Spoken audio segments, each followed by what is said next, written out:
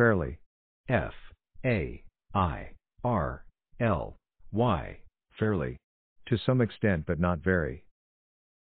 Fairly simple or easy or straightforward.